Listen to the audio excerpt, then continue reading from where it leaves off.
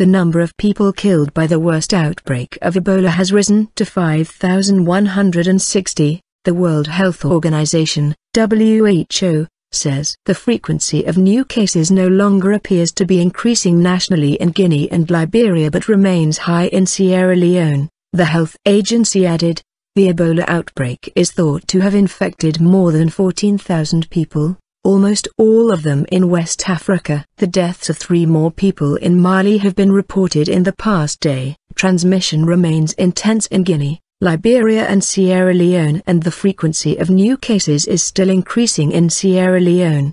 The WHO said in its situation report. Health experts have argued that the rate of new cases is more significant than the total death toll as it reflects how fast the virus is spreading. More than 2,830 people have died from Ebola in Liberia, with more than 1,100 deaths in both Guinea and Sierra Leone, the WHO said. Mali has reported four deaths from Ebola, while there were eight reported Ebola deaths in Nigeria and one in the US. The total number of deaths has increased by 200 since the WHO's last situation report on 7 November. Also on Wednesday, hundreds of health workers at an Ebola clinic in Sierra Leone went on strike, saying the government had failed to pay them an agreed weekly $100, 63 pounds, hazard payment. The money was due to be paid in addition to salaries the staff receive from medical charity MSF,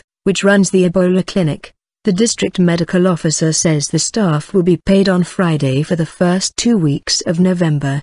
The BBC's correspondent in Sierra Leone Amara Fofana reports. However, the backlog of payments is still being worked out, our correspondent adds. On Wednesday afternoon, Workers' representative Mohamed Mbawa said they had agreed to send a third of their staff back to the ward to offer minimal assistance in the interest of the patients who are our people. However, he stressed that the strike was still on, and said if the staff were not paid by Friday, we still stop working completely. Meanwhile, the U.S. military said that it expected to send a total of 3,000 troops to Liberia to combat the Ebola outbreak. The U.S. had initially authorized up to 4,000 troops for the mission in Liberia. However, Major General Gary Volesky, who is leading the U.S. military mission to fight Ebola in West Africa, told a Pentagon briefing there were a greater than expected number of contractors available in Liberia to provide support like construction work,